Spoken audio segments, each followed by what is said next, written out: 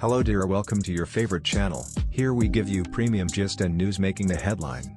If you are new please subscribe and don't forget to click the bell button.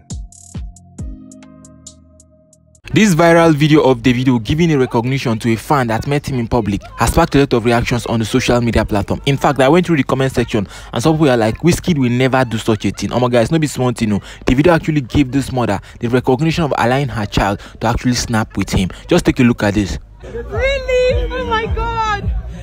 To Davido, Amanda.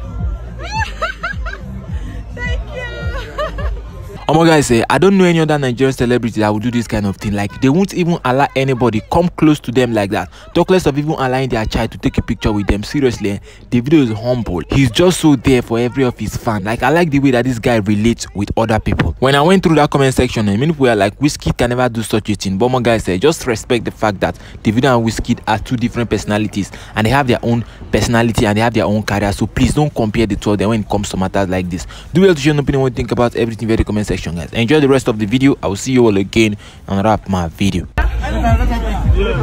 Okay thank you so much. Thank you.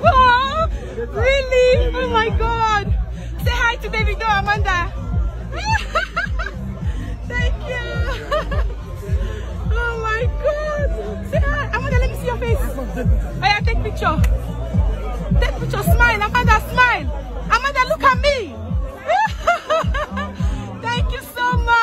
bless you. Thank you.